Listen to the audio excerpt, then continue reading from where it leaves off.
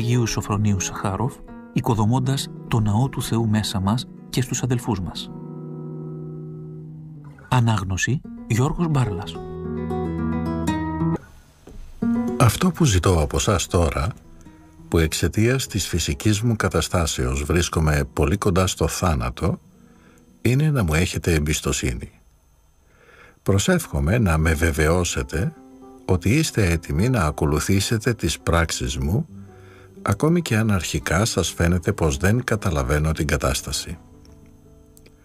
Παρ' όλα αυτά, να έχετε πιο πολύ εμπιστοσύνη σε αυτό που κάνω, οδηγούμενος από την προσευχή, παρά στη δική σας θεώρηση των πραγμάτων. Μήπως σας ζητώ πολλά; Ο πατήρ Σίγμα έλεγε «Μπορεί κανείς να κρίνει την πνευματική κατάσταση κάποιου προσώπου από μια επαφή μαζί του, από την ενέργεια, αν θέλετε, που εκπέμπει το πρόσωπο αυτό. Αλλά η πιο βέβαιη κρίση συνάγεται όταν ακούμε το λόγο του που φανερώνει τη γνώση του. Από όσα έγραψα μέχρι τώρα δεν απέδειξα μεγάλη άγνοια. Ο Θεός έδωσε και σε μένα να γνωρίσω κάτι εκ Έτσι μπορείτε να με κρίνετε ή από την εξωτερική μου ζωή ή από το λόγο που έγραψα κάτω από συνθήκες άκρος δυσμενής διότι δεν είχα ποτέ το χρόνο να γράψω τα βιβλία μου με ηρεμία. Τώρα γίνομαι συνήγορος του εαυτού μου. Ίσως ο Θεός μου επιτρέπει να πω ότι θα ήταν καλύτερα να ακολουθήσετε τις πράξεις μου με εμπιστοσύνη. Και μου φαίνεται ότι αν η πίστη σας είναι τέλεια, η ευλογία του Θεού θα είναι ορατή, χειροπιαστή. Αυτό που λέω τώρα αποτελεί θέμα με το οποίο θα ασχοληθούμε στις μελλοντικές συναντήσεις μας, διότι είναι πάρα πολύ σπουδαίο πρόβλημα στη ζωή των μοναχών. Αλλά ας αφήσουμε αυτό το άκρο σοβαρό και σπουδαίο ερώτημα για μια άλλη στιγμή. Για την ώρα δείξτε στους δυο μας, σε μένα και τον ηγούμενο, πλήρη εμπιστοσύνη, χωρίς να νομίζετε πως δεν σκεφτόμαστε το ίδιο πράγμα και ότι δεν βλέπουμε τα πράγματα κατά τον ίδιο τρόπο.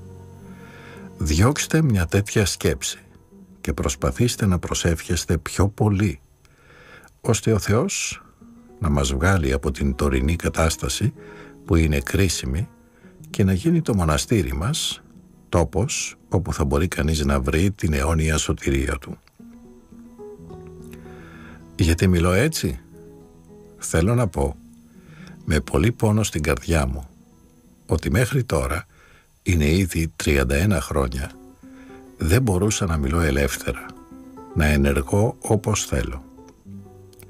Πάντοτε υπέμεινα το αντίθετο, δίνοντας τη θέση στη θέληση ενός άλλου, στη θεώρηση, στον οραματισμό, στην ιδέα κάποιου άλλου. Τώρα όμως δεν μπορώ να επιτρέψω στον εαυτό μου να το κάνει, διότι δεν γνωρίζω πόσο χρόνο ακόμη θα ζήσω ανάμεσά σας και οφείλω να τελειώσω το έργο μου. Μη σκεφτείτε ότι θέλω, πώς να το πω, να στερήσω τη δυνατότητα της δικής σας εξέλιξης. Όχι. Η σωτηρία του καθενός σας κατέχει για μένα την πρώτη θέση. Βρίσκεται πριν από τη δική μου. Και αν κατά τη διάρκεια αυτής της διαδικασίας, που είναι τρομερά περίπλοκη, δοκιμαστείτε από έλλειψη εμπιστοσύνης, μην αφήσετε το διάβολο να σας κλονίσει.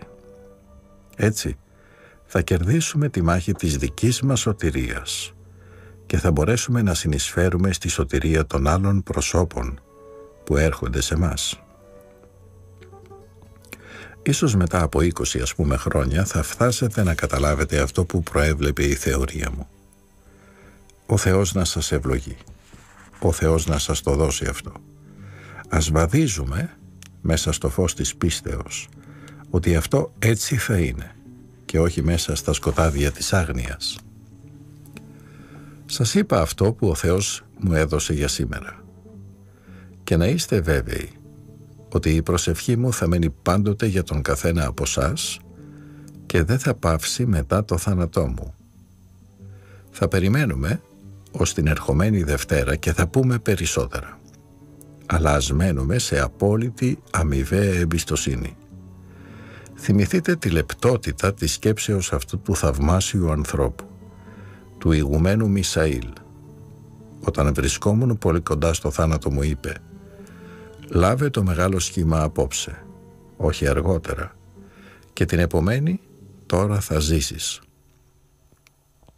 Έμεινα ακόμη δέκα ημέρες σε κρίσιμη κατάσταση, αλλά αυτός ήταν ήδη σίγουρος. Όταν τον έβλεπες, ήταν ένας πολύ απλός άνθρωπος. Τέτοιος είναι ο πνευματικός νόμος. Αυτός στον οποίο ανήκει η ευθύνη εισακούεται από τον Κύριο με έναν τρόπο πιο ακριβή από εκείνους που δεν έχουν την ευθύνη για οτιδήποτε. Γνώση και αγνωσία του Θεού. Ερημική και κοινοβιακή ζωή. Ο ενικών Θεός. Αποφατισμός και καταφατισμός. Διονύσιος Αρεοπαγίτης. Γρηγόριος Παλαμάς. Ουσία και ενέργεια. Ο Χριστός είναι Θεός Θα ξεκινήσω να σας μιλώ σήμερα από την εμπειρία της νεότητός μου τότε που ο Κύριος μου έδωσε αυτό που λέμε μνήμη θανάτου. Αυτή η κατάσταση της μνήμης του Θεού και του αναπόφευκτου του θανάτου μου ενέπνευσαν ένα αίσθημα ματαιότητος για όλα τα υλικά αγαθά της γης. Για μένα, σκοπός της μοναχικής ζωής είναι να με ελευθερώσει από την εξουσία της ύλης που με περιβάλλει, ώστε να ζήσω κατά απερίγραπτο με λόγια τρόπο το Θεό να κατοικεί μέσα μου. Αυτή τη σκέψη είχα όταν ήρθα στην Αγγλία, για μένα πρωτίστως αλλά και για τους ελάχιστους που με συνόδευαν. Εύκολα πραγματοποιεί κάποιος μια τέτοια ιδέα ή μάλλον λιγότερο δύσκολα όταν βρίσκεται στην έρημο αποκομμένος από όλο τον κόσμο. Δεν μπορεί όμως να ζήσει μέσα στην έρημο ως το τέλος, διότι δεν μπορεί να αποκοπεί τελείως από την ανθρωπότητα. Κανένας δεν μπορεί να σωθεί μόνος χωρίς τους άλλους. Έτσι, οργανώνουμε εδώ την κοινοβιακή μας ζωή σύμφωνα με την πείρα χιλιάδων ετών που μας έδωσε ο Θεός. Επί του παρόντος, όσον αφορά την οργάνωση αυτή, διερχόμαστε μία περίοδο δύσκολη που θα διαρκέσει ακόμη χρόνια για όλους μας και θα απαιτεί μεγάλη ένταση στην προσευχή και στην εργασία, ακόμη και τη χειρονακτική. Η στιγμή που θα αποκτήσουμε το αγρόκτημα που βρίσκεται στην απέναντι πλευρά του δρόμου πλησιάζει.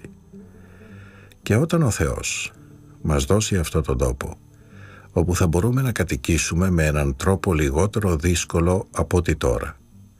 Ας μην ξεχνάμε τότε ότι η πρώτη μας μέρημνα θα είναι να ζήσουμε μαζί Του και Αυτός να ζει μέσα μας. Στα όρια της επίγειας ζωής μας, η εν Χριστώ ζωή μας είναι εφικτή εν μέρη, έστω και αν ο Θεός μας είναι άναρχος και ατελεύτητος. Η κατάσταση της ζωής μας πάνω στη γη μοιάζει με την εμβριακή ζωή. Αποτελεί προετοιμασία. Οφείλουμε να γεννηθούμε εκ νέου για να ζήσουμε έξω από αυτό το σώμα που τόσο γρήγορα αποσυντίθεται. Αυτή η γέννηση για την αιωνιότητα είναι συνδεδεμένη με το θάνατό μας. Από μια άλλη όμως πλευρά δεν είναι συνδεδεμένη μαζί του. Γιατί; Διότι η αληθινή οδός πρέπει να αρχίσει από εδώ κάτω και ο Θεός μας δίνει τα μέσα γι' αυτό. Το επαναλαμβάνω πάλι, πως αυτή η έμπνευση να εννοήσουμε το Θεό που είναι εκεί μέσα μας έχει άπειρο ενδιαφέρον και βοηθά πολύ τους ανθρώπους. Ο Θεός είναι αόρατος. Είναι από τη φύση του ακατάληπτος για μας στην κατάσταση που βρισκόμαστε. Γεννημένοι μέσα στο χρόνο, στο χώρο και στο σώμα αυτό που φέρουμε. Δεν μπορούμε να φανταστούμε το άναρχο είναι. Αλλά το γεγονός, το αποκεκαλυμμένο από την Αγία Γραφή, ότι είμαστε δημιουργημένοι κατ' εικόνα και καθομοίωση Θεού. Δεν μας αφήνει ήσυχους. Θέλουμε να γνωρίσουμε αυτό το Θεό με έναν τρόπο πιο ολοκληρωτικό. Προσκρούουμε λοιπόν στη φύση μας που είναι ανίκανη να φτάσει σε αυτή τη γνώση. Όπως λέει ο Χριστός, μόνο αυτός που μας δημιούργησε μπορεί να μας επιτρέψει να τον γνωρίσουμε. Αλλά για να γίνουμε άξιοι αυτής της χάριτος, οφείλουμε να ζήσουμε σύμφωνα με τις εντολές του Χριστού. Σε αυτές αντανακλάται ο αιώνιος Θεός και με αυτές μαθαίνουμε τι είναι η αγιότητα και τι είναι η αμαρτία. Η αμαρτία είναι ο θάνατος. Η αγιότητα είναι η αιωνιότητα. Νομίζω ότι μπορούμε να ζήσουμε το Θεό μόνο με τη χάρη και όχι με τις ανθρώπινες προσπάθειες. Είναι απαραίτητο όμως να καταβάλουμε μεγάλη ψυχική, πνευματική και σωματική προσπάθεια για να διαμείνουμε μέσα στο πνεύμα των εντολών. Αλλιώς χάνουμε τη χάρη. Η δική μας κατάσταση εδώ είναι δύσκολη διότι ζούμε ανάμεσα σε ανθρώπους που αγνοούν τα πάντα για το Θεό. Παρόλα όμως αυτά πιστεύουν ότι υπάρχει, ότι είναι. Αν μου επιτρέπετε να το πω. Υπάρχει ένα στοιχείο, μια πλευρά του Θεού, την οποία δεν μπορούμε να γνωρίσουμε, όποια και αν είναι η προσευχή που του απευθύνουμε. Αυτή η πλευρά παραμένει αιώνιο μυστήριο. Έχοντας ακούσει από την παιδική μας ηλικία ότι ο ίδιος ο Θεός ήρθε στη γη, έχοντας διαβάσει το Ευαγγέλιο ως παιδιά, είναι εύκολο να πιστέψουμε σε Αυτόν. Αλλά ακολουθεί έπειτα το ερώτημα πώς ο Θεός μπορεί να εμφανίζεται με τη μορφή αυτή; Το γεγονός ότι διαβάζουμε το Ευαγγέλιο αποδεικνύει ότι μπορεί να μιλά κανείς για το Θεό με τρόπο θετικό, καταφατικό και όχι με τρόπο αρνητικό, αποφατικό. Θεός άγνωστος, ακατανόητος, πάντοτε και κρυμμένος. Στην εποχή που ξανάρχισα να ζω το Χριστό, όταν βρισκόμουν στη Γαλλία, συνάντησα στο Ινστιτούτο του Αγίου Σεργίου ανθρώπους που τους ήλκιαν πολύ τα κείμενα του μυστηριώδου συγγραφέα του Διονυσίου του Αρεοπαγίτου. Όταν διάβασα για πρώτη φορά τα έργα του, έμεινα έκθαμβος από τον τρόπο με τον οποίο εκφραζόταν, από την ένταση να στέκεται κανείς μπροστά σε ένα μυστήριο που οφείλουμε να πιστεύουμε χωρίς να το γνωρίζουμε, διότι πάντοτε μας υπερβαίνει. Το γεγονός ότι δεν μπορούμε να τον γνωρίσουμε υπογραμμίζει την υπερβατικότητα του Θεού. Ευτυχώς που παράλληλα διάβαζα το Ευαγγέλιο, τις πράξεις και τις επιστολές των Αποστόλων. Έτσι, δεν θα μπόθηκα από τα έργα αυτά που αποδίδονται στον Άγιο Διονύσιο τον Αρεοπαγίτη και διέφυγα από το αδιέξοδο στο οποίο μπορεί να οδηγηθεί κανείς διαβάζοντάς τα. Ίσως να βρίσκεται αρκετά τολμηρό τον τρόπο με τον οποίο εκφράζομαι. Αυτό που θέλω να πω είναι ότι για μένα ο Άγιος Γρηγόριος ο Παλαμάς είναι εκείνος που μας εξήγησε πώς να στεκόμαστε μπροστά στο Θεό. Πώς να τον γνωρίζουμε με έναν καταφατικό τρόπο. Το μυστήριο του Θεού θα μείνει ίσως αιώνια κατανόητο. Πρόκειται όμως για ένα γεγονός. Ο ίδιος ο Θεός αναζητά επαφή μαζί μας. Και αυτή την επαφή, τη χειροπιαστή, την αισθανόμαστε όταν Αυτός έρχεται σε μας. Προσωπικά προτιμώ αυτή την τακτική. Να μην επικεντρώνουμε τη σκέψη μας στο γεγονός ότι ο Θεός είναι άναρχος. Αυτό δεν μπορούμε να το συλλάβουμε. Μόνο όταν η χάρη της θεότητος έλθει, δοκιμάζουμε αυτό το πολύ δυσάρεστο συνέστημα να μην μπορούμε να καταλάβουμε αυτόν που είναι άναρχος. Θέλουμε λοιπόν να γνωρίσουμε το Θεό μας καθώς εστίν. Όταν προσευχόμαστε σε Αυτόν, θέλουμε να ξέρουμε σε ποιον μιλούμε και να μην απευθυνόμαστε πάντοτε στον άγνωστο Θεό των Αθηναίων.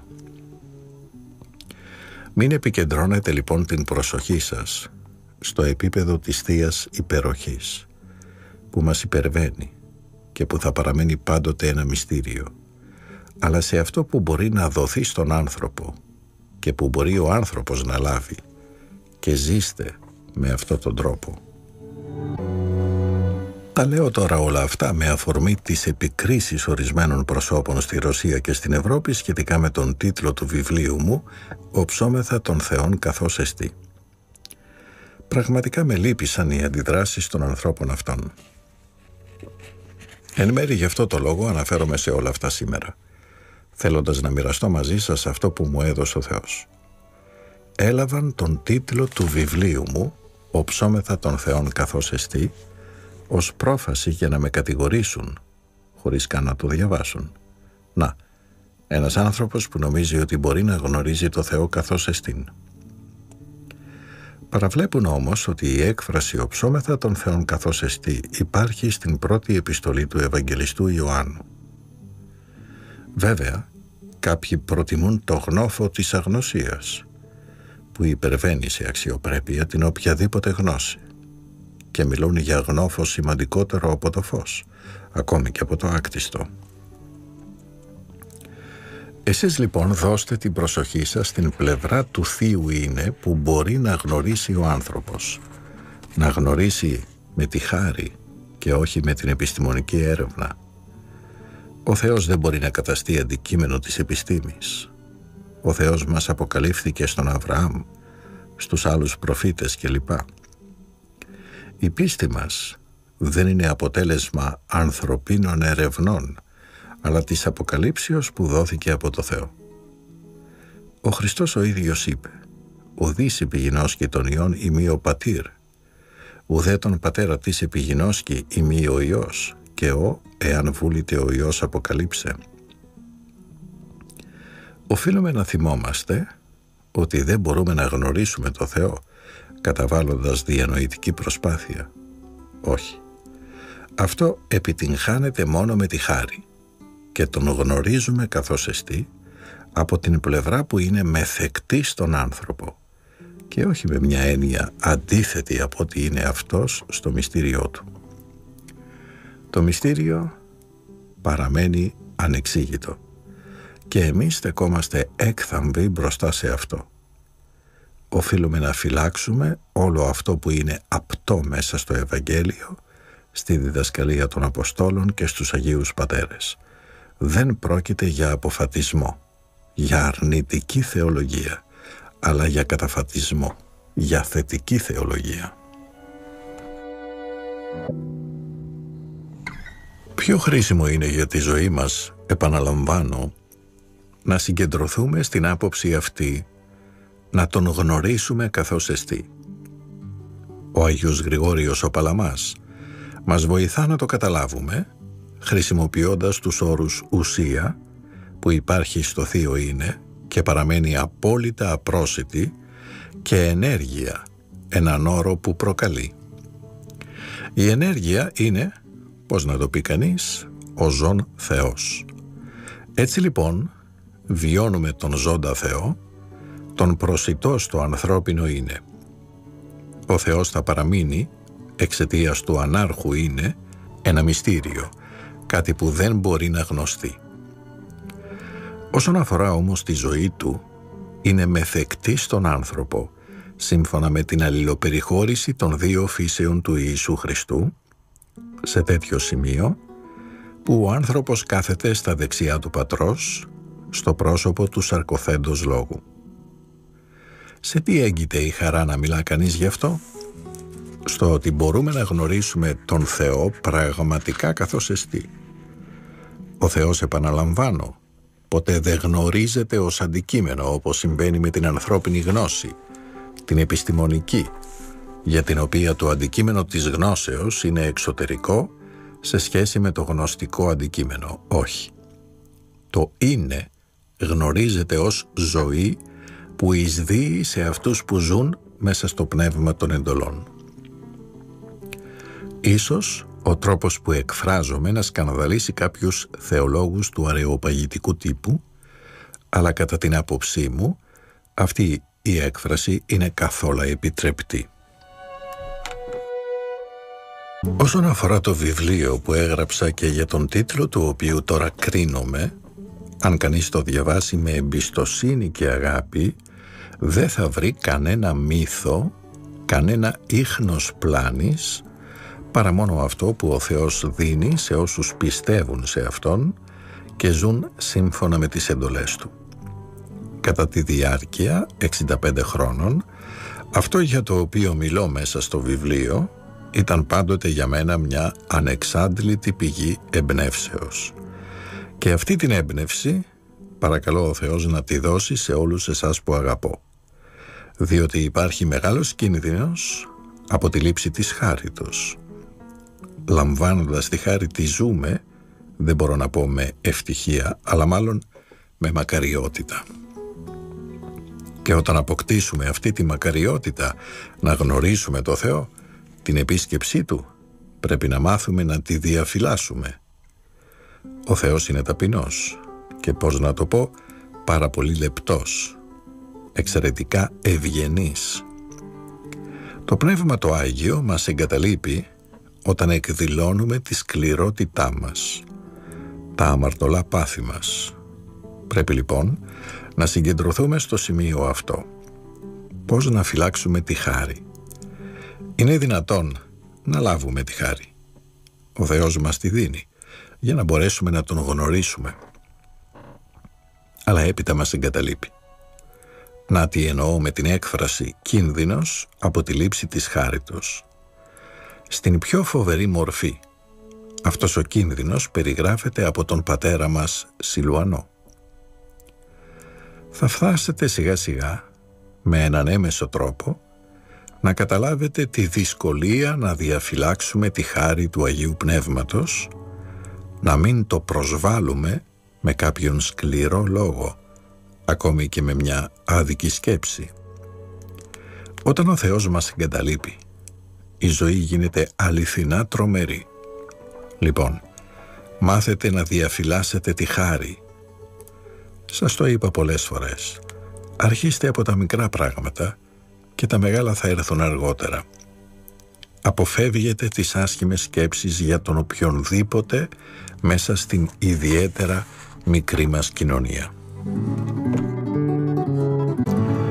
Δεν μπορούμε να μιμηθούμε απολύτως τους άλλους, τους ασκητές, τον Άγιο Γρηγοριό Παλαμά, τον Άγιο Σεραφείμ, τον Άγιο Μακάριο, τον Άγιο Σιλουανό κλπ. Μην προσπαθείτε να μιμηθείτε εξωτερικά οποιονδήποτε, παρόλα τα λόγια του Αποστόλου Παύλου «Μιμητέ μου γίνεστε». Εσωτερικά όμως ναι. Πιστέψτε δυνατά ότι ο Χριστός είναι Θεός. Είναι ο Δημιουργός μας. Αυτό είναι που φαίνεται παράλογο στους σοφούς της εποχής μας.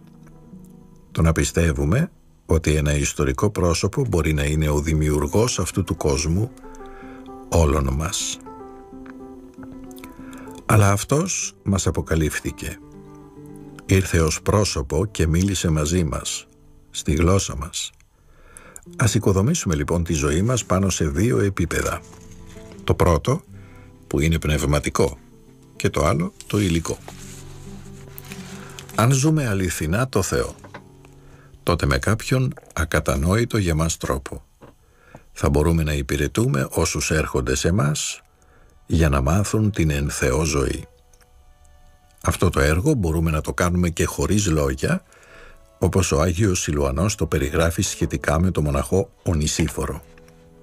Ήταν τόσο πράος και ταπεινός, ώστε και χωρίς λόγια, μόνο με την παρουσία του, ωφελούσε τους ανθρώπους. Αρκούσε να τον κοιτάξει κανείς για να διορθωθεί. Ο Θεός να δώσει να είμαστε όλοι όπως ο Ονησίφορος. Από τις απλές μας κινήσεις, από τον τρόπο που μιλούμε, αυτοί που μας βλέπουν, που μας ακούν, να αλλάξουν στο βάθος της ψυχής τους. Όταν βρισκόμουν για ένα διάστημα στη Γαλλία, είχα την ευκαιρία να συνομιλήσω με τη μητέρα κάποιου πατρός Ιωάννου που μας επισκέφθηκε από τη σκήτη του πατρός Σεργίου Σεβίτς. Της είπα ότι είμαστε όπως οι σχιζοφρενείς. Με τη διαφορά ότι αυτοί οι ασθενείς δεν έχουν τον έλεγχο του εαυτού τους. Εμείς ζούμε δύο πραγματικότητες. τη θεία και τη γήινη. Μπορεί κανείς να μιλήσει στην περίπτωση αυτή για σκιζοφρένεια. Εντός εισαγωγικών η λέξη. Τώρα ζω πολύ συχνά αυτή την κατάσταση. Και οι πατέρες που με φροντίζουν με βλέπουν στην κατάσταση αυτή της σκιζοφρένειας που δεν παίρνει πολύ επικίνδυνη μορφή. Ναι, ας γίνουμε σκιζοφρενοί ζώντας δύο πραγματικότητες συγχρόνως. Οι δύο αυτές μορφές συνειδήσεως είναι εν Χριστώ ενωμένες. Ας προσπαθούμε λοιπόν να τον ακολουθούμε και ας μάθουμε να ζούμε τις δύο αυτές πραγματικότητες, την αιώνια και τη γήινη, ενώ μαγειρεύουμε, ενώ υπηρετούμε τον κόσμο που μας επισκέπτεται κλπ. Ο Θεός να σας ευλογεί και να προσεύχεστε για μένα.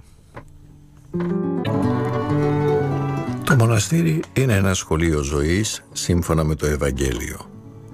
Ευαγγελική αγάπη και ανθρώπινη πειθαρχία. Σχέδια για την ανάθεση των διακονημάτων. Οι συνάξεις της αδελφότητός μας έχουν για μένα πολύ μεγαλύτερη σπουδαιότητα από αυτήν που μπορούν κάποιοι να φανταστούν. Υπάρχουν πολλές ελλείψεις στην οργάνωση της ζωής μας. Η οργάνωση της πνευματικής ζωής είναι βέβαια υπεράνθρωπο έργο. Σας λέω ειλικρινά ότι τώρα δεν έχω αρκετές δυνάμεις να υψώνω τα χέρια για να παρακαλέσω το Θεό για τον καθένα σας. Δεν πρόκειται όπως στην προσευχή του Μωυσή να έχω δύο βοηθούς να με υποβαστάζουν. Αλλά παρακαλώ όλους σας να σηκώνετε τα χέρια, να προσεύχεστε ο ένας για τον άλλον, να αγαπάτε ο ένας τον άλλον και να είστε σαν ένα σώμα. Αν δεν κάνετε αυτή την προσπάθεια, η προσευχή θα μένει ανώφελη. Η συνέπεια της πτώσεως της μεγάλης πτώσεως στον παράδεισο είναι η έλλειψη αγάπης. Το μοναστήρι δεν είναι τόπος όπου ζει κάποιος με τον τρόπο που ζούσε στον κόσμο, αλλά σχολείο ζωής σύμφωνα με το Ευαγγέλιο. Πρέπει να αγωνιζόμαστε ενάντια στις διαθέσεις μας, στην τάση μας να αποθούμε τους άλλους. Πρέπει να καταλάβουμε ότι μέσα σε έναν κόσμο τόσο σκληρό όπως ο σύγχρονος, είναι αδύνατο να οργανώσουμε ένα μοναστήρι. Να υψώνετε τα χέρια σας ημέρα και νύχτα και να ζητάτε από το Θεό να οικοδομήσει τη ζωή μας. Διαφορετικά θα είμαστε όπως οι παράλυτοι, κατεστραμμένοι από την αθυμία. Η ακιδεία θα καταστρέψει τη ζωή μας και δεν θα μπορεί κανείς να οργανώσει τίποτε, απολύτως τίποτε. Δυστυχώς, τις περισσότερες φορές αυτό έρχεται από μια εσωτερική αντίσταση του ενός προς τον άλλον. Αυτές οι αντιστάσεις εμποδίζουν κάθε συνεργασία, κάθε έμπνευση για τη μελέτη του Λόγου του Θεού και η ζωή θα είναι σαν να μην έχει νόημα. Προσεύχεστε λοιπόν, προσεύχεστε περισσότερο. Θα δούμε τι θα μας δώσει η πρόνοια του Θεού θα μας δώσει αυτό που θέλουμε αν είμαστε σύμφωνοι με το πνεύμα των εντολών και γενικά με τη χριστιανική πίστη μας. Τότε όλα θα μας δοθούν. Αν όμως, όπως είπαμε και άλλοτε, όταν είστε στα δωμάτια σας, αυτή η κίνηση της εσωτερικής αντίστασης σας κυριαρχεί, τότε όλα θα καταστραφούν να φοβάστε να έχετε κακό λογισμό για τον οποιονδήποτε. Αυτό προκαλεί, όπως και άλλες φορές σας είπα, ρογμές στον τοίχο, από τις οποίες μπορούν να μπουν στα δωμάτια μας τα ποντίκια, τα πουλιά. Αν είμαστε ενωμένοι, όπως όλοι το θέλουμε πραγματικά, θα μας δοθεί ό,τι είναι απαραίτητο για να ζήσουμε μια ζωή που οδηγεί στη σωτηρία. Φυλάξτε στις καρδιές σας ό,τι σας λέω. Προσεύχεστε και να είστε σαν το τσιμέντο που συγκρατεί και όχι σαν τον δυναμίτη που τα καταστρέφει όλα. Ελπίζω να προλάβω να σας μιλήσω για τα σχέδιά μου εν ώψη της οικοδομής της πνευματικής μας ζωής, που είναι κάτι πολύ σοβαρό και απαιτεί πραγματικά περισσότερη φροντίδα για τη σωτηρία από ό,τι σήμερα. Αν δεν προσεύχεστε για τον καθένα και για όλους με αγάπη και με τρόπο θετικό, δεν θα φτάσουμε στο σκοπό μας. Η υπακοή είναι μια αξιόλογη επιστήμη, μεγαλειώδης, και το τέλος της επιστήμης αυτής είναι η αιώνια ζωή. Μην έχετε την τάση να υποβιβάζετε το σκοπό της μοναχικής ζωής. Ψάξτε με ακρίβεια ό,τι μπορείτε να βρείτε. Διαβάστε τα έργα του Αγίου Σιμεών και θα μάθετε τι είναι η μοναχική ζωή. Μετά από αυτό δεν θα έχουμε χρόνο για κακούς λογισμούς.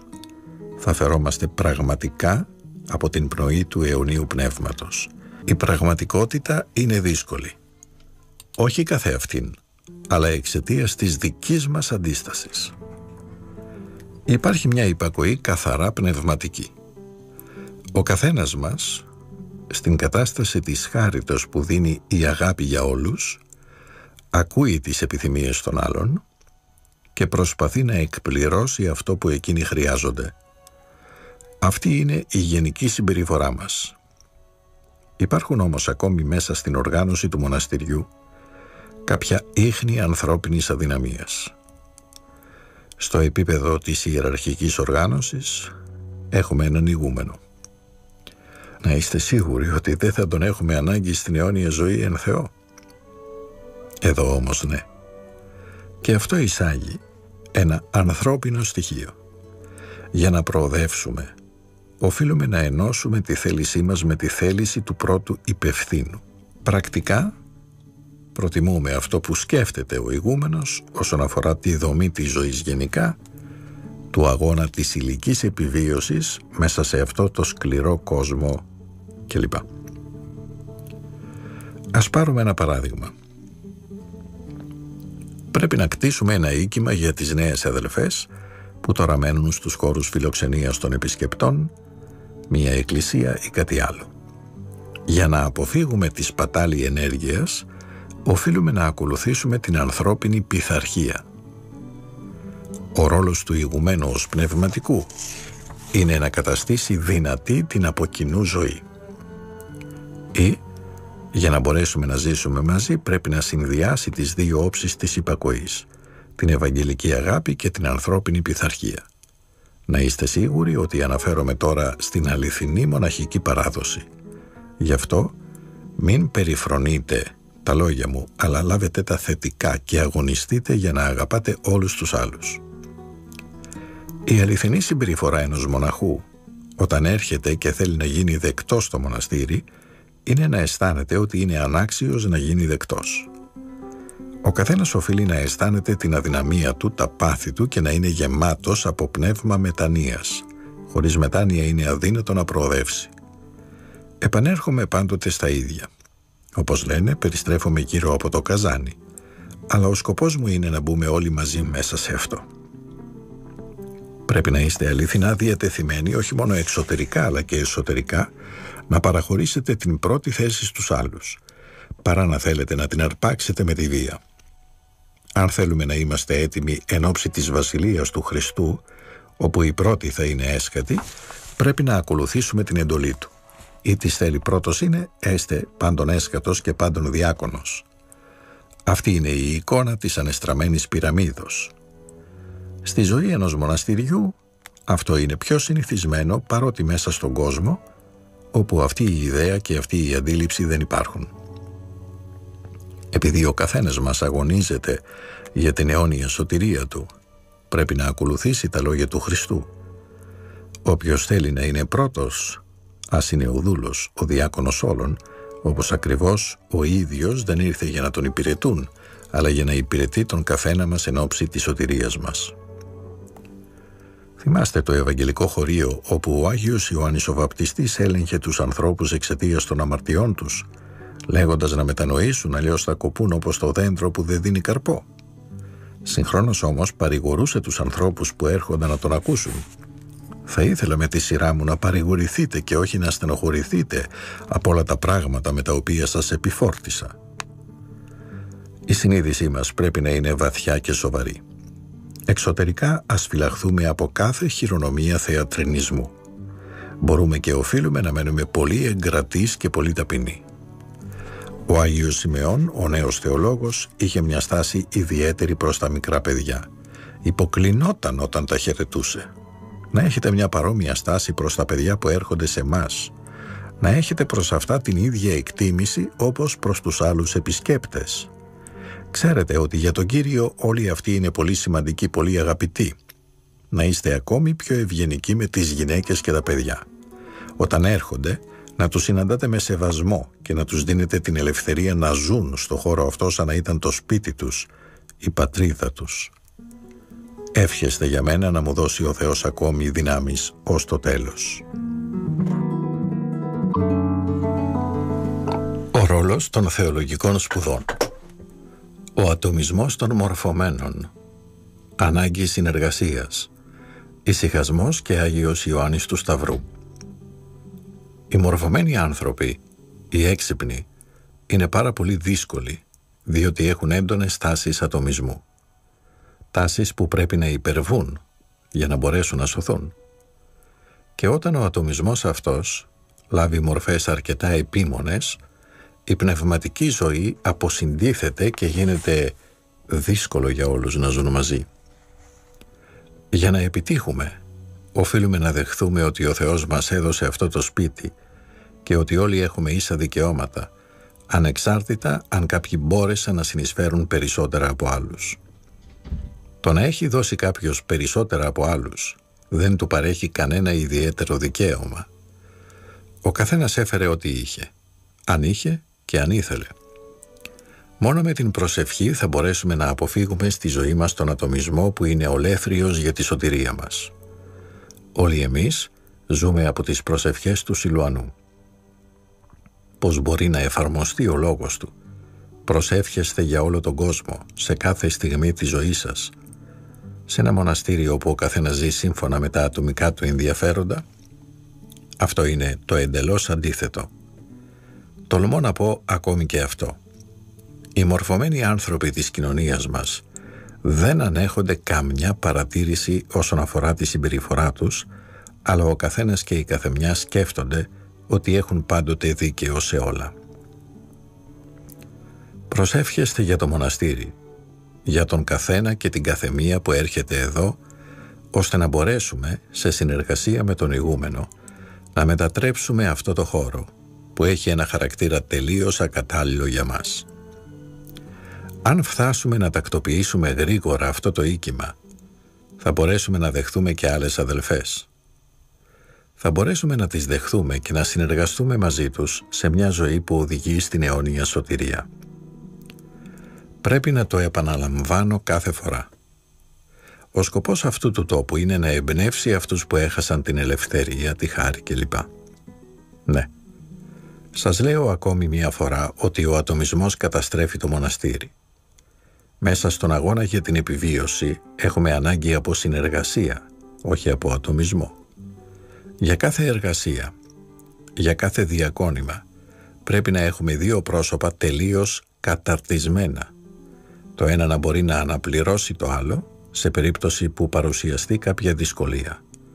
Διαφορετικά, όλη η ζωή του μοναστηριού θα εξαρτάται από τις ιδιοτροπίες του οποιοδήποτε και όλα θα αδρανήσουν. Γνωρίζετε καλά τώρα πως το μοναστήρι μας έγινε ένας τόπος όπου πολλά πρόσωπα επιθυμούν να βρουν την ειρήνη, τη δύναμη για ζωή, την πίστη στο Θεό κλπ. Και γνωρίζετε επίσης ότι αυτή η διακονία δεν είναι εύκολη. Αν συνεργαστούμε όπως πρέπει, θα έχουμε πολύ καιρό ελεύθερο για να συναντιόμαστε και να μελετούμε σε βάθος τα πνευματικά θέματα. Οι απλοί άνθρωποι, οι μη μορφωμένοι, μπορούν να ζήσουν στην απλότητά τους χωρίς λογισμούς, αλλά αυτοί που έχουν σπουδάσει στο πανεπιστήμιο έχουν ανάγκη διανοητικής εργασίας. Ανήκει σε μας να οργανώσουμε τη ζωή μας. Αν κανείς, δεν πάβω να το επαναλαμβάνω, επιτρέπει στον εαυτό του να έχει κακές σκέψεις για κάποιον άλλον, αυτό καταστρέφει τη ζωή. Διότι ο καθένας έχει στην καρδιά του την έμφυτη αντίληψη που του επιτρέπει να αισθάνεται αυτό που έχουν μέσα τους οι άλλοι. Πριν λίγες μέρες μας επισκέφθηκε κάποιο πρόσωπο που πριν ασπαστεί την Ορθοδοξία ανήκε στο τάγμα των Καρμελιτών. Μου είχε γράψει προηγουμένως για να με ρωτήσει αν ήταν καλό να συνεχίσει τις σπουδές της θεολογίας ή αν θα ήταν καλύτερο να εγκαταλείψει τις σπουδές αυτές και να αφιερώσει όλο το χρόνο στην προσευχή. Απάντησα στο πρόσωπο αυτό πως αν η προσευχή του δεν αναβλύζει σαν το ηφαίστειο, είναι καλύτερα να γεμίζει τις τρύπες με θεολογικές σπουδές. Έκανε τότε μια συγκριτική μελέτη μεταξύ του Καρμέλ και του Νείλου της Ώρας. Τώρα ασχολείται με τη σχέση του Ιωάννου του Σταυρού και του Ορθόδοξου Ισυχασμού, των δύο οδών. Ποια ήταν η συνείδηση του Αγίου Ιωάννου του Σταυρού για να περάσει από τις νύχτες του; Κατά βάθος ήταν η διατύπωση του δόγματος για τις συνέπειες του προπατορικού αμαρτήματος. Ο Ιερός Αυγουστίνος ήταν πολύ ριζοσπαστικός στο θέμα αυτό και επηρέασε τους ασκητές της Ισπανίας και την Καθολική Εκκλησία. Πολύ πριν όμως από τον Ιωάννη του Σταύρου, το πρόβλημα των συνεπειών της αμαρτίας είχε συζητηθεί επί μακρόν από τον Άγιο Ιωάννη τον Κασιανό τον Ρωμαίο. Όταν ένα σημείο τέτοιας σπουδαιότητος γίνει σαφές, μπορεί να βοηθήσει στην προσευχή. Αν δεν ξέρει κανείς πού βρίσκεται η πηγή των δυσκολιών που συναντούμε, αισθάνεται χαμένος. Του συνέστησα λοιπόν να συνεχίσει τις σπουδές του πάνω στο θέμα αυτό. Συγχωρήστε με, αλλά δεχτείτε το λόγο μου και αναλογιστείτε όλοι το θέμα αυτό. Ο καθένας και η καθεμία θα έπρεπε να ξανασκεφτεί τη ζωή του. Δεν μπορεί κανείς να ζει έχοντας ως διακόνημα να ετοιμάζει τα γεύματα. Αν όμως προσεύχεται κατά το χρόνο αυτό, η μαγειρική γίνεται ένας παράδεισος. Μπορεί κανείς να γίνει Άγιος. Πολλοί εργάστηκαν όλοι τους τη ζωή στο μαγειρίο. Στο Άγιον Όρος γνώρισε ένα μοναχό που είχε το διακόνημα αυτό περισσότερο από 30 χρόνια. Όλες τις ημέρες του χρόνου. Αλλά αν δεν υπάρχει το πνεύμα της μετανοίας στην προσευχή, τότε όλα αλλάζουν. Πράγματα οι καταστάσεις που θα έπρεπε να είναι αιτία χαράς γίνονται βάρος, φορτίο ασήκωτο. Όταν έφτασα στο Άγιον Όρος, προτιμούσα τις πιο απλές εργασίες, διότι αυτό επέτρεπε στην καρδιά μου και στο πνεύμα μου να διαμένουν πάντοτε εν προσευχή. Θα σας διηγηθώ δύο μικρές ιστορίες. Όταν ακόμη ήμουν στον Άγιο Παντελεήμονα, ήταν ένας διάκονος που είχε μία φωνή εξαιρετικά ωραία και έναν πολύ καλό χαρακτήρα. Κατά τη διάρκεια μιας συζητήσεως μου είπε «Πρέπει να είσαι πολύ προσεκτικός, να μην προφέρεις λόγο κενό ή βλαβερό για τους άλλους. Διαφορετικά θα πρέπει να χύσεις το αίμα σου για να θεραπεύσεις αυτή την πληγή». Σε μία άλλη περίπτωση, ένας μοναχός μπήκε στο κελί μου και μου έκανε γνωστό γραπτός ότι για 20 χρόνια δεν πρόφερε κανένα λόγο διότι μία φορά πλήγωσε έναν αδελφό. Για να μην κινδυνεύσει λοιπόν να επαναλάβει αυτή την αμαρτία, δεν μιλούσε πια. Αυτό έκανε την κατάσταση πολύ δύσκολη. Πώς να μάθεις την τάξη των ακολουθιών, για παράδειγμα, αν κάποιος δεν μπορεί να μιλήσει σε κανέναν; Ήμουν στην ακολουθία στο καθολικό, όπου οι ακολουθίες γίνονταν σε δύο γλώσσες, ελληνικά και σλαβωνικά. Αυτός ερχόταν στη λειτουργία που γινόταν στα ελληνικά και πολύ συχνά βγαίναμε μαζί από την εκκλησία εν σιωπή, χωρίς να προφέρουμε κανένα λόγο. Είχα εντυπωσιαστεί πολύ από το διάκονο που έλεγε «Θα πρέπει να χύσει κανείς το αίμα του για να θεραπεύσει αυτή την πληγή» και από τον άλλο που αποφάσισε να μην μιλήσει ποτέ ως το θάνατό του.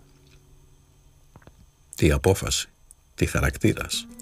Ήταν εργάτης στον κήπο του μοναστηριού. Ο πατήρ Τρόφιμος, για τον οποίο μιλώ στο βιβλίο μου για το Σιλουανό, ήταν πολύ πνευματικός. Του άρεσε να βοηθά τους ανθρώπους που αναλάμβαναν τέτοιου είδους ασκήσεις. Σας επαναλαμβάνω ότι οι απλοί άνθρωποι όπως τους γνώρισα κατά την παραμονή μου στο Άγιον Όρος, μπορούσαν να ζήσουν και να βρουν μια στάση σωστή για όλους και για όλα. αλλά είναι τελείως διαφορετικό για τους ανθρώπους που μορφώθηκαν στην Ευρώπη και κυρίως για το μοναστήρι μας, όπου η Σουηδία είναι κοντά στην Αγγλία και την Ελλάδα, δηλαδή όπου μία Σουηδέζα βρίσκεται δίπλα σε μία Αγγλίδα και μία Ελληνίδα. Αν όμως γίναμε Ορθόδοξοι πρέπει να το υπερβούμε αυτό με την Ορθόδοξη άσκηση της προσευχής και της αγάπης. Προσευχηθείτε για μένα ώστε να σας βασανίζω λιγότερο. Είναι ανάγκη να αγωνιζόμαστε για την πνευματική μας ελευθερία. Τον χριστιανό τον εκμεταλλεύονται μέσα στον κόσμο. Προφητείες για τους έσχατους καιρούς. Το κάλος του Χριστού. Η Αγία Τριάδα, Πατήριος και Αγίο Πνεύμα, είναι η ζωή μας, η συνεχής έμπνευσή μας. Ο σκοπός μας, το επαναλαμβάνω για να μένει σταθερά χαραγμένος στη συνείδησή σας, είναι ο αγώνας να διαφυλάξουμε την πνευματική μας ελευθερία. Συνήθως, όταν οι άνθρωποι κάνουν μια δωρεά υλική, χρήματα για παράδειγμα, περιμένουν κατόπιν ιδιαίτερη προσοχή. Απαιτούν μάλιστα κάποτε ακόμη και να μας επιβάλλουν τη γνώμη τους για το τι πρέπει να κάνουμε και αυτό δεν μπορούμε να τους το επιτρέψουμε. Αρκεί ο φόβος που έχουμε ενώπιον του Θεού. Γνωρίζουμε αυτή την ανθρώπινη αδυναμία για την οποία μιλούσε ο Απόστολος Παύλος. Όταν οι άνθρωποι δίνουν κάτι υλικό, τις περισσότερες φορές, σχεδόν 99% το εκτιμούν αυτό περισσότερο από το λόγο μας και την πνευματική μας διακονία. Ο Απόστολος Παύλος, όπως αναφέραμε, υπογραμμίζει αυτή την αδυναμία. Εμείς όμως, με κάποιο τρόπο τελείως συνειδητό, τηρούμε το λόγο του Χριστού. Δωρεάν ελάβατε, δωρεάν δότε. Δεδομένου ότι ζούμε σε αυτή την ανθρώπινη κοινωνία όπως είναι τώρα, πρέπει να γνωρίζουμε τις δύο αυτές πλευρές. Την πλευρά του κόσμου και την πλευρά του Θεού μας και Κυρίου Ιησού Χριστού.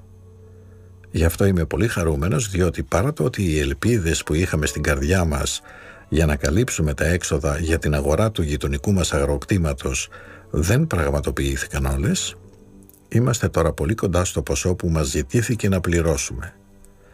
Αν καταφέρουμε να συγκεντρώσουμε όλο το ποσό που χρειάζεται για να καλύψουμε όλα τα έξοδά μας, αυτό θα ήταν το καλύτερο. Για μας είναι αρκετό να έχουμε το Λόγο του Χριστού, τις εντολές του Ευαγγελίου. Μας αρκεί να θέλουμε να οικοδομήσουμε τη σωτηρία μας. Στο βιβλίο μου για το γέροντας Σιλουανό αναφέρω το εξής φαινόμενο, η πνευματικό νόμο που διέπει τον κόσμο. Για τους χριστιανούς όλα γίνονται με μεγαλύτερη δυσκολία. Τους ζητούν να πληρώσουν περισσότερο από όσο πρέπει, ενώ αμείβονται πολύ λιγότερο από ό,τι δικαιούνται. Να γνωρίζετε ότι στον κόσμο αυτό θα μας ταλαιπωρήσουν κάθε είδους δυσκολίες, πόνοι, ακόμη και μαρτύρια. Τολμώ να προφέρω αυτή τη λέξη. Να έχετε όλοι σας υπομονή. Δεν έχω τώρα τη δύναμη να σας εμπνεύσω για τη ζωή που ανοίγεται μπροστά μας. Δεν ξέρω πώς να εκφράσω αυτό το φαινόμενο. Κάποιοι βλέποντας τον Χριστό καθώς εστί, γίνονται εχμάλωτοί του και δεν μπορούν πλέον να τον εγκαταλείψουν. Βαδίζει προς τη γεστημανή. Πρέπει να τον ακολουθήσουν. Ανεβαίνει στο Γολογοθά. Πρέπει να τον ακολουθήσουν. Πρέπει να αναλογιστούμε από τη μια τη διαφορά και από την άλλη την ομοιότητα με τα πρώτα χρόνια της Εκκλησίας. Κατά τη διάρκεια των τριών πρώτων αιώνων, αυτή η πάλι για να προσελκυστεί ο κόσμος προς τον ουράνιο πατέρα, συνοδευόταν από θείες εκδηλώσεις και θαύματα. Τώρα δεν γίνονται τέτοια θαύματα, αλλά κάποιες προφητείες των πατέρων της ερήμου που χρονολογούνται από τον 4ο αιώνα διατηρούνται ακόμη και αναφέρονται στο μέλλον της ζωής των μοναχών. Λένε ότι μεγάλες θλίψεις θα σταλούν στους μοναχούς των τελευταίων καιρών, κατά τους οποίους ο Θεός θα αποκρύψει την αληθινή αξία του κάθε πιστού του και από τον κόσμο και από αυτούς τους ίδιους. Λένε ακόμη ότι δεν θα μπορούμε να γνωρίζουμε πού βρισκόμαστε εξαιτίας της στάσεως του Θεού που θα φαίνεται να μην ενδιαφέρεται για τις προσευχές μας. Προσευχόμαστε, αλλά εκείνος δεν απαντά.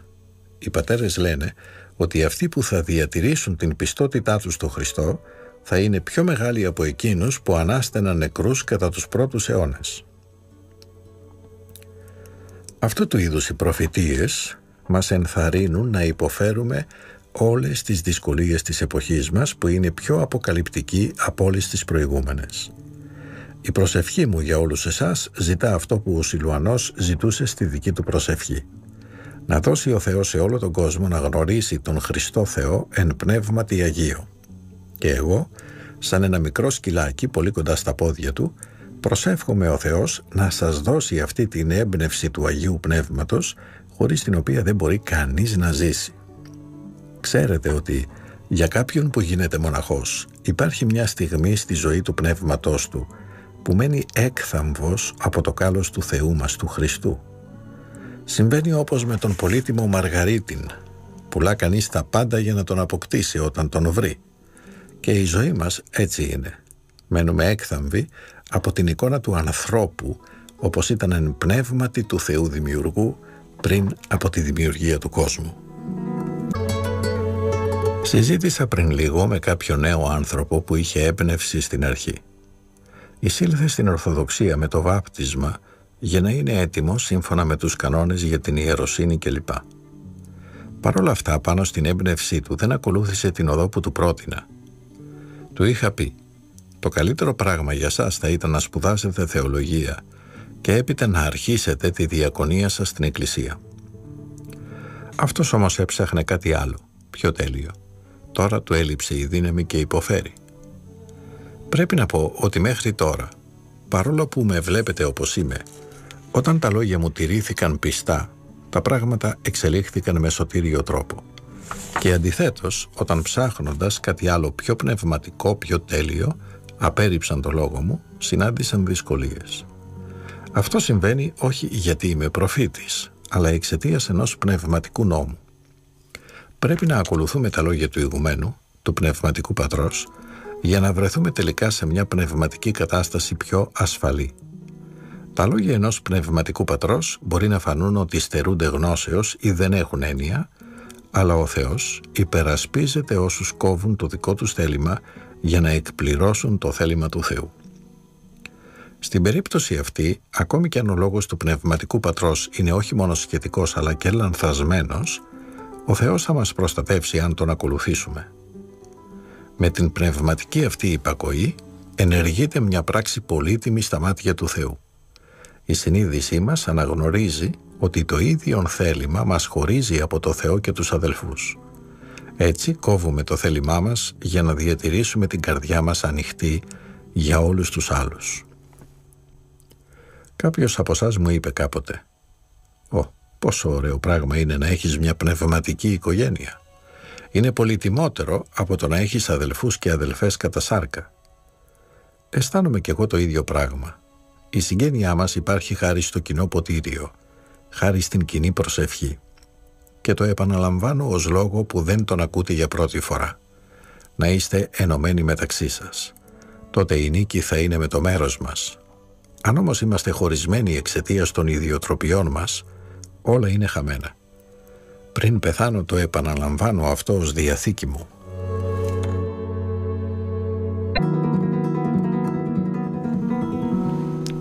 Διαβάστε στα γραπτά του Σιλουανού το σημείο όπου γίνεται λόγος για τον Αβά Ιωάννη τον Κολόβο. Λέει εκεί ότι με την έντονη προσευχή που διήρκεσε δύο χρόνια κατέπνιξε μέσα του τα πάθη, αλλά έπειτα η προσευχή του εξασθένησε και αισθάνθηκε ένα κενό στη ζωή του. Πριν η προσευχή, ο πνευματικός πόλεμος τον κατήχαν ολοκληρώσει σε σημείο που δεν μπορούσε να θυμηθεί τα πράγματα του κόσμου. Διαβάστε επίσης στα αποφθέγματα των πατέρων της ερήμου την ιστορία εκείνη, όπου κάποιος πήγε να πάρει τα εργόχειρα του Ιωάννου του Κολοβού για να τα πουλήσει στην Αίγυπτο. Και ο Ιωάννης μόλις μπήκε στο σπίτι για να τα βρει ξέχασε τι του είχε ζητήσει. Να σε ποιο βαθμό είχε κόψει κάθε δεσμό με τον κόσμο. Ο γέροντας Σουλανός με την εξουσία που επέκτησε ένεκα της οράσεως του Χριστού λέει «Αν ο Αβάς Ιωάννης λάμβανε τη χάρη της προσευχής για τον κόσμο, τότε δεν θα παρακαλούσε να επανέλθουν τα πάθη, ώστε να αγωνίζεται εναντίον τους και έτσι να παραμένει σε αδιάλειπτη ένθερμη προσευχή». Αυτή η μικρή παράγραφος έχει μεγάλη σημασία. Πρέπει να καταλάβουμε το περιεχόμενό της. Μετά την εμφάνιση του Κυρίου, ο Σιλουανός προσευχόταν σε όλη του τη ζωή για όλο τον κόσμο. Γιατί το λέω αυτό; Διότι αν θέλουμε πραγματικά να ζήσουμε ως χριστιανοί, οφείλουμε να βρισκόμαστε στην κατάσταση στην οποία ήταν ο Χριστός, όπως και ο γέροντάς μας Σιλουανός. Ίσως αυτό να είναι πολύ για σας, αλλά περίμενα 30 χρόνια πριν σας μιλήσω εδώ γι' αυτό. Δεν είμαι βέβαιος ότι όλοι όσοι διαβάζουν το βιβλίο του Γέροντα καταλαβαίνουν το πραγματικό οντολογικό περιεχόμενο των λόγων του. Για παράδειγμα, όταν λέει πως όταν τη νύχτα προσευχόταν στην έρημο του Αγίου Όρους, έβλεπε τον κόσμο ολόκληρο από τον Αδάμ όπως και την κόλαση και προσευχόταν με κλάμα. Πού βρισκόμαστε εμείς για να είμαστε κληρονόμοι της διδασκαλίας του; Συγχωρήστε με για το θράσος να μιλώ για το Χριστό από την εμπειρία μου. Ο Χριστός είπε «Πήρε ήλθον βαλήν επί την εκείνη και τι θέλω ήδη ανήφθη. Βάπτισμα έχω βαπτιστήνε και πώς συνέχομαι έως σου τελεστεί». Βλέπετε πως η καρδιά του Χριστού δεν ήταν ήσυχη και πως εγώ κατέχομαι από θλίψη όταν αυτό γίνεται πραγματικότητα. Συγχωρήστε με για αυτό τον παραλληλισμό που κάνω. Πριν πεθάνω θέλω να μιλήσω μαζί σας ώστε μετά το θάνατό μου να καταλαβαίνετε τα λόγια του Μεγάλου Σιλουανού. Διαφορετικά, θα είστε σαν τους κατασκόπους που έστειλε ο Μωυσής στη γη της Επαγγελίας, οι οποίοι τρόμαξαν από τους ανθρώπους που ζούσαν εκεί και όταν γύρισαν έδωσαν πληροφορίες που προκάλεσαν στους Ισραηλίτες φόβο να εισέλθουν εκεί. Τι εννοώ, θα ήθελα διαβάζοντας το βιβλίο του Σιλουανού να μην πρέπει να ξαναγυρίζουμε πίσω και να είμαστε έπειτα υποχρεωμένοι να βαδίζουμε, όπως ο λαός των Ιουδαίων με τον Μωυσή, για 40 χρόνια στην έρημο πριν εισέλθουμε στη γη της Επαγγελίας. Κρατήστε σταθερά αυτή την εικόνα στη συνείδησή σας και θα καταλάβετε για ποιο πράγμα σας μιλώ, εγώ που είμαι σχεδόν νεκρός. Η προσευχή μου είναι να γίνετε η αληθινή κληρονόμη του πνεύματος του Αγίου Σιλουανού. Και αν αυτή η εικόνα που μας παρουσιάζει το τροπάριο, ο ενέκτη ημέρατε και ώρα, γίνει το περιεχόμενο της ζωής σας, όλες οι μικρότητες, οι μικροδιαφορές μεταξύ σας θα εξαφανιστούν τελείως. Όπως στην περίπτωση του Αβά Ιωάννου του Κολοβού, ο οποίος είχε χάσει την επαφή με τον κόσμο αυτό σε τέτοιο σημείο, ώστε όταν ο Καμιλέρης του είπε «δώσε μου το εργόχειρό σου», πήγε να το φέρει αμέσως και ξέχασε τι του είχε ζητήσει. Μην νομίσετε ότι μιλώ με τρόπο απερίσκεπτο, με τρόπο θρασί. Αν μπείτε αληθινά στην πνευματική ζωή, μέσα στη μάχη αυτή θα δείτε ότι όλα θα αλλάξουν. Ο Χριστός δεν είχε που την κεφαλήν κλείνει. Αυτό εξαφανίζει κάθε σκέψη που τον θεωρεί ως πρόσωπο προσκολλημένος σε γήινα πράγματα. Όσο για μας, έχουμε μία μικρή γωνιά, αλλά πολύ μικρή. Το σχέδιό μας λοιπόν να αγοράσουμε το αγρόκτημα που βρίσκεται στην απέναντι μεριά του δρόμου μας τώρα είναι έτοιμο να αναβαγίσει λόγω ελλείψεως χρημάτων. Κοιτάξτε όμως την έννοια αυτού του πράγματος, γιατί μετά από τόσες προσευχές δεν λάβαμε τη μικρή αυτή γωνιά για να κλείνουμε την κεφαλή μας και να έχουμε έτσι μια θέση για τις ψυχές που υποφέρουν και έρχονται να ξεκουραστούν κοντά μας; Δεν ξέρω πως ο ηγούμενος που φέρει στους ώμους του την ευθύνη και όλη την αδελφότητα θα βγει από αυτή τη δυσκολία. Συγχωρήστε με, αν μιλώ έτσι, είναι για να δείτε την πνευματική κατάσταση με έναν τρόπο πιο καθαρό. Πρέπει όλοι σας να καταλάβετε ότι αυτοί που έρχονται εδώ οφείλουν να μιλούν μέσα στο πνεύμα του γέροντας Σιλουανού. Διαβάζοντας τα πατερικά βλέπουμε ότι κατά τις διδαχές των πατέρων της Αιγύπτου η λύθη της προσευχής και του πνευματικού αγώνος θεωρείται ως μέγα αμάρτημα, ως πάθος που πρέπει να υπερβούμε, να νικήσουμε. Όσοι μας βλέπουν από έξω δεν μπορούν να καταλάβουν τη ζωή μας. Αποτελεί για αυτούς μυστήριο. Αν εμείς που είμαστε ενωμένοι με την αγάπη για τον Χριστό έπρεπε να περιμένουμε 30 χρόνια για να μιλήσουμε με τέτοιο καθαρό τρόπο, φανταστείτε πόσο πιο δύσκολο είναι να μεταφέρουμε τη γνώση αυτή μέσα στον κόσμο, να την κάνουμε προσιτή στο πλήθος. Όταν το πνεύμα μας ζει στη σφαιρική αυτή όραση του ανθρώπινου είναι και των σχέσεών μας με το Δημιουργό και Σωτήρα μας Θεό, Φτάνει να χάνει κανείς τη λογική ακολουθία των σκέψεων και τα κατάλληλα λόγια για να εκφραστεί. Να γιατί σας παρακαλώ τώρα. Προσευχηθείτε για να καταλάβετε καλύτερα αυτό που θέλω να σας μεταδώσω σήμερα. Να είστε πιο σοβαροί στην καθημερινή ζωή της μονής μας και να κρατάτε πάντοτε το πνεύμα σας στα βαθιά και πνευματικά πράγματα. Με τη στάση αυτή θα αποφύγετε όλες τις μικροσυγκρούσεις που κάνουν τη ζωή μας, πώς να πω, φτωχή, μίζερη κλπ. Ο Χριστός είπε «Η βασιλεία των ουρανών βιάζεται και βιαστέ αρπάζουν αυτήν». Δηλαδή η βασιλεία αρπάζεται από το θράσος εντός εισαγωγικών των πιστών. Πρέπει να αρπάξουμε αυτή τη βασιλεία, να είστε συνετοί. Καταλαβαίνετε ότι μιλούμε για σοβαρά πράγματα. Διαφορετικά τα μικρά πράγματα θα καταλήξουν να μας συνθλίψουν. Για να διατηρήσουμε στον κόσμο αυτό το βλέμμα μας στραμμένο προς το Χριστό, μείνετε πάντοτε στην ατμόσφαιρα του πνευματικού μας πατρός. Αυτή η ζωή έχει τέτοιον χαρακτήρα που πολύ συχνά δεν υπάρχουν λόγια να την εκφράσει κανείς διότι υπερβαίνει κάθε λόγο. Κάποτε, αντί αυτού, ο λόγος έρχεται αλλά δεν ξέρει κανείς τι είναι καλύτερο. Να μιλήσει ή να σιωπήσει. Είμαστε ευτυχείς που ο Απόστολος Παύλος δεν σιώπησε αλλά εξέφρασε την εμπειρία της ζωής του. Παρατηρώντας τη ζωή του Σιλουανού, γίνεται ικανή να γνωρίσετε με αληθινό τρόπο το λόγο του για το μοναχισμό. Ο μοναχός είναι οικέτης για όλο τον κόσμο. Επαναλαμβάνω, αν θέσετε αυτό το λόγο δίπλα στη συζήτηση του Σιλουανού που ανέφερα πιο πάνω, θα καταλάβετε ότι αν ο Αβάς Ιωάννης ο Κολοβός είχε λάβει την προσευχή για τον κόσμο, δεν θα είχε την ανάγκη να ζητήσει να επιστρέψουν σε αυτόν τα άθλια πάθη. Οικοδομήστε λοιπόν τη ζωή σας με τη μελέτη των γραφών του Σιλουανού για να προσλάβετε στο πνεύμα σας μια καθαρή όραση αυτού που συμβαίνει σε μας κάθε ημέρα και κάθε ώρα. Ο Σιλουανός, μολονότι είχε ζήσει πάνω από 40 χρόνια, σχεδόν μισό αιώνα, ανάμεσα στους πατέρες και τους μοναχούς, δεν μπόρεσε να τους μιλήσει για όλα αυτά που σας λέω σήμερα. Ο Θεός μου έδωσε ένα σεβασμό για τον άνθρωπο αυτό, μια διέστηση του αληθινού μεγαλείου του. Όταν μιλούσε, προσπαθούσα να διατηρήσω μέσα μου την ουσία των λόγων του χωρίς να τα κρίνω. Όταν δεν καταλάβαινα κάτι, δεν το αντέλεγα, αλλά περίμενα ο Θεός να μου δώσει να το αντιληφθώ καλύτερα. Γιατί μιλώ τόσο πολύ για το Σιλουανό; Αν διαβάσετε προσεκτικά το βιβλίο και προσεύχεστε να διεισδύσετε στο πραγματικό περιεχόμενο όλων των λόγων του, θα δείτε το υπέροχο μεγαλείο αυτού του ανδρός. Έχοντας λοιπόν λάβει από το Θεό έναν γέροντας σαν αυτόν, θα ήταν αληθινό έγκλημα να μην τον εκμεταλλευτώ και να μένω διαρκώς στα χαμηλά της γης, μέσα στο βόρβορο των μίζερων πραγμάτων. Συγχωρήστε με και προσεύχεστε για μένα.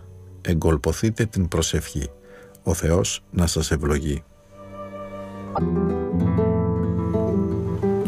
Βασιλική ιεροσύνη των μοναχών και θεσμική ιεροσύνη των επισκόπων. Η Παναγία κατέχει τη χάρη της υπέρτατης ιεροσύνης. Τι είναι η βασιλική ιεροσύνη; Η ιεροσύνη κατά την τάξη Ααρών και κατά την τάξη Μελχισεδέκ. Η εξουσία του Ααρών κυριαρχεί στην Εκκλησία και συνθλίβει το μοναχισμό. Αληθινός μοναχός δεν γίνεται κανείς παρά μόνο από το Πνεύμα το Άγιο. Ευλογητός ο Θεός. Μου δίνει πάλι μια ευκαιρία να μιλήσω μαζί σας επελπίδη παρελπίδα. Για να πω την αλήθεια, ετοιμάστηκα να σας πω ένα λόγο πολύ σημαντικό. Την απάντηση σε ένα γράμμα του πατρός Πλακίδα. Εδώ και καιρό ο πατήρ Σίγμα μας διηγήθηκε για ένα ταξίδι του στη Γαλλία, κατά το οποίο επισκέφθηκε το Μονζερόν, περιοχή κοντά στο Παρίσι, όπου υπάρχει ιδιόκτητος χώρος με ναό, που χρησιμοποιείται από τους Ορθοδόξους για διάφορες συνάξεις, συνέδρια κλπ. Εκεί από χρόνια συνήθιζε να έρχεται ο πατήρ Πλακίδας, να λειτουργεί και να ομιλεί στους Ορθοδόξους που έρχονται από το Παρίσι και όλη τη Γαλλία για μία ή και περισσότερες ημέρες και έδωσε ένα τεμάχιο από τα λείψανα του Αγίου Σιλουανού στον πατέρα Πλακίδα, ο οποίος απαντά με το ακόλουθο γράμμα. Η Ιερά Μονή Αγίου Αντωνίου του Μεγάλου, την 5η Μαρτίου 1990. Πολυσέβαστε και αγαπητέ γέροντα. Με πολύ μεγάλη χαρά η μονή μας υποδέχτηκε τα λείψανα του Οσίου Σιλουανού, τα οποία μας στείλατε δια του πατρός Σίγμα. Μας συνεκίνησε πολύ αυτή σας η χειρονομία και σας ευχαριστούμε εξ όλης καρδίας. Η παρουσία αυτή του Αγίου Σιλουανού στην Εκκλησία μας ενδυναμώνει ακόμη περισσότερο το σύνδεσμο που υπάρχει ανάμεσα στο μοναστήρι σας και στο δικό μας. Θα ήθελα να σας στείλω πολλές φωτογραφίες του ναού και της καταστάσεως στην οποία τώρα βρίσκεται, αλλά ο φωτογράφος που τις τράβηξε καθυστερεί λίγο και δεν ήθελα να περιμένω περισσότερο να σας γράψω. Θα σας τις στείλω λοιπόν λίγο αργότερα, όταν θα τις έχω. Οι βασικές εργασίες του ναού έχουν σχεδόν τελειώσει. Δεν μένει παρά να τελειώσουμε τη στέγη και να τοποθετήσουμε τα κεραμίδια. Ο πατήρ Σεραφείμ μόλις τελείωσε 40 ξύλινα στασίδια. Τώρα πρόκειται να κάνει για τα παράθυρα τα καφασωτά χωρίσματα με τζάμι στα διάχωρα. Έπειτα θα σκαλίσει σε ξύλο το τέμπλο. Κάποιος άλλος αδελφός, ο πατήρ Θεοδόσιος, κάνει το σκάλισμα που θα χρειαστεί να γίνει πάνω σε πέτρα. Απομένει να γίνουν τα επιχρήσματα στους τοίχους, η πλακόστρωση και η εγκατάσταση της θέρμανσης. Είναι αδύνατο να υπολογίσουμε πόσος χρόνος θα χρειαστεί να τελειώσουν όλα αυτά, διότι όλα εξαρτώνται από τη γενεοδορία των θωρητών. Είναι όμως ήδη ένα θαύμα που μπόρεσαν να γίνουν όλα αυτά. Αυτό το χρόνο, το θέμα των μηνιαίων συνάξεών μας στο Μονζερόν είναι η ανάγνωση των γραφών του Οσίου Σιλουανού και ο σχολιασμός τους. Εκπλήττομαι βλέποντας την ασυνήθιστη πνευματική πυκνότητα των κειμένων αυτών, ενώ ταυτόχρονα είναι τόσο επίκαιρα. Έχοντας την προσευχή μου τους μοναχούς και τις μοναχές σας, σας εκφράζω και πάλι πολυσέβαστε Πάτερ όλη την ευγνωμοσύνη μας και τη βαθιά εν Κυρίω Χριστό Ιησού αγάπη μας. Αρχιμανδρίτης Πλακίδας. Στο ρωσικό στρατό συχνά άκουγε κανείς την έκφραση «Μαλαντιέτς, μαλαντσί, μπράβο, αγωνιστή». Η έκφραση αυτή μπορεί να εφαρμοστεί στον πατέρα Πλακίδα και σε όλους όσοι είναι μαζί του. Πραγματικά αποτελούν μια ομάδα με πολύ καλό γούστο. Έχουν μεγάλο πόθο να κτίσουν έναν αληθινό ναό μέσα στο μοναστήρι τους. Θα είναι πολύ διαφορετικός από αυτόν που κτίσαμε εμείς. Εμείς συναντήσαμε πολλές δυσκολίες. Δεν μπορούσαμε να κτίσουμε τίποτε που να θυμίζει ορθόδοξο ναό εξαιτίας της αρνητικής τάσης του τοπικού πληθυσμού που δεν ήθελε να αλλοιώσει τον ιδιαίτερο χαρακτήρα του τόπου με οικοδομές ενός διαφορετικού, εξωτικού κατά αυτούς στυλ. Γι' αυτό το λόγο υποχρεωθήκαμε να παρουσιάσουμε ένα σχέδιο με τα πλέον απαραίτητα. Ένα κτίριο με τέσσερις τείχους σαν μια αποθήκη. Έπρεπε να βρούμε κάποιο μέσο να χρησιμοποιήσουμε αυτή την πολύ απλή κατασκευή για να πραγματοποιήσουμε το σχέδιό μας και το κάναμε αυτό με το πνεύμα που κυριαρχούσε στη Ρωσία κατά τη διάρκεια του διωγμού και που συνεχίζει να κυριαρχεί σήμερα από όσα γνωρίζω. Δεν κατασκευάζουμε αληθινό ναό, αλλά μάλλον οίκο προσευχής. Αντιθέτως, ο πατήρ Πλακίδας και οι μοναχοί του έκτισαν μία εκκλησία τέσσερις φορές πιο μεγάλη από τη δική μας, σε βυζαντινό ρυθμό. Από τις φωτογραφίες που μας έστειλε ο πατήρ Πλακίδας είναι πραγματικά αξιοθαύμαστη. Έτσι, ο μικρός μας ναός είναι ο πρώτος που φέρει το όνομα του Αγίου Σιλουανού. Αλλά ο ναός που κτίστηκε στο μοναστήρι του Αγίου Αντωνίου του Μεγάλου στη Γαλλία θα είναι πιο μεγαλοπρεπής.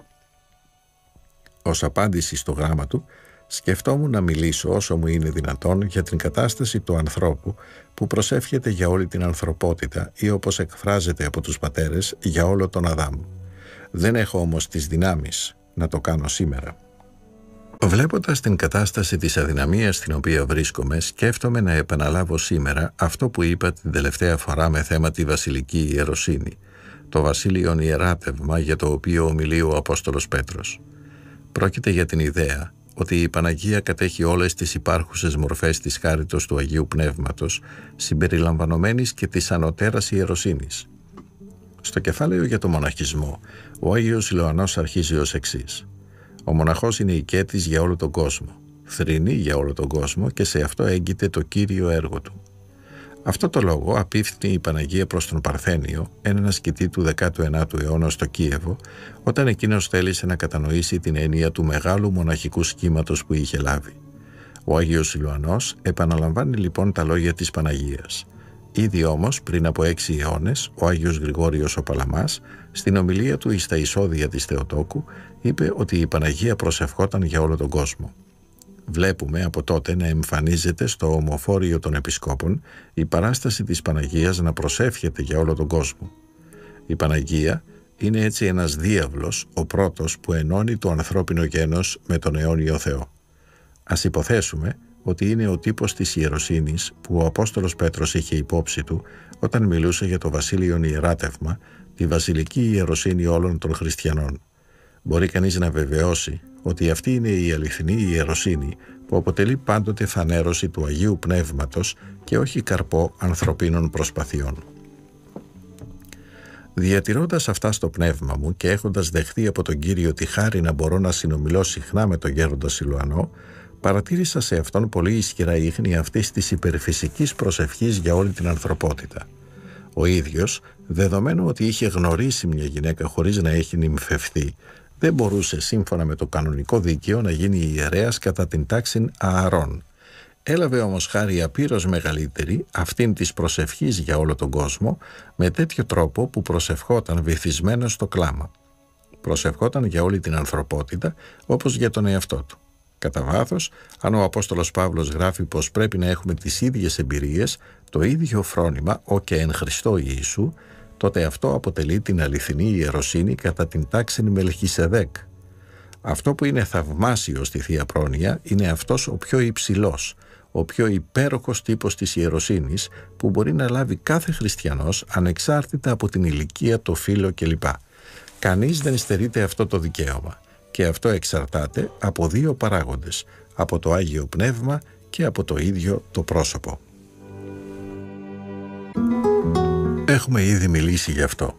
Είναι εύκολο να καταλάβουμε ότι το δένδρο, η ανθρωπότητα, στη ρίζα του οποίου βρίσκεται ο Αδάμ, μεγάλωσε υπερβολικά και ότι καθένας από εμά είναι ένα φύλλο ή ένα μικρό κλαδί του μεγαλειώδους αυτού δένδρου. Πρέπει να κρατήσουμε τη συνείδηση ότι δεν είμαστε χωρισμένοι από το μεγάλο αυτό παγκόσμιο σώμα της ανθρωπότητας. Άλλο πράγμα είναι όμως να ζήσουμε όπως το έζησε στην προσευχή της η Παναγία ή στις ημέρες μας ο Άγιος Σιλουανός. Αυτός ο βαθμός της συνειδήσεως μπορεί βεβαίως να αποκτηθεί με κάποια μορφή στο φιλοσοφικό επίπεδο ή καλύτερα στο θεολογικό. Αλλά η διανοητική αυτή διέστηση δεν είναι ακόμη αυτό που βλέπουμε στην προσευχή του προσώπου που είναι βυθισμένο στο κλάμα για την ανθρωπότητα. Πράγματι, το πρόσωπο αυτό ζει μέσα στο ίδιο του το σώμα την τραγωδία της πτώσεως. Γι' αυτό είπα ότι η χάρη αυτή είναι υψηλότερη από τη χάρη της αρχιερατικής ιεροσύνης.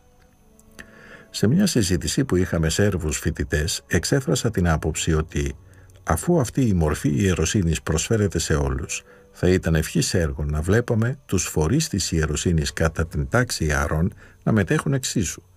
Αυτή η ιεροσύνη ως λειτουργία ελεγχόμενη από την εκκλησιαστική ιεραρχία δεν έχει από μόνη της τη δύναμη της προσευχής για την οποία μιλούμε, αλλά πρέπει να ευχηθούμε και αυτή επίσης να μπορεί να ενδυθεί τη βασιλική ιεροσύνη κατά την τάξη Μελχίσεδέκ.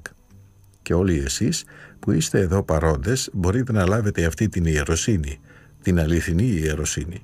Για τη θεσμική ιεροσύνη, η ιεραρχία ψάχνει πρόσωπα ικανά να μάθουν ορισμένα πράγματα και εκτιμά τις ικανότητες αυτών των προσώπων ώστε να γίνουν ιερείς. Όσο για την άλλη η ιεροσύνη είναι άλλο πράγμα. Είναι λίγο σαν αυτό που λέει για παράδειγμα ο γέροντας Σιλουανός σχετικά με την ταπείνωση. Κάνει διάκριση ανάμεσα στην ασκητική ταπείνωση, την ψυχολογική αν θέλετε και την ταπείνωση του ίδιου του Θεού. Η διαφορά μεταξύ των δύο αυτών μορφών ταπεινώσεως είναι πολύ σημαντική, διότι στη δεύτερη περίπτωση πρόκειται για μια ιδιότητα του Θείου είναι που είναι άκτιστη. Η άκτιστη αυτή ταπείνωση μας δίδεται από την ενέργεια του Αγίου Πνεύματος όταν ζούμε μέσα μας όλο τον Αδάμ κατά την έκφραση των πατέρων.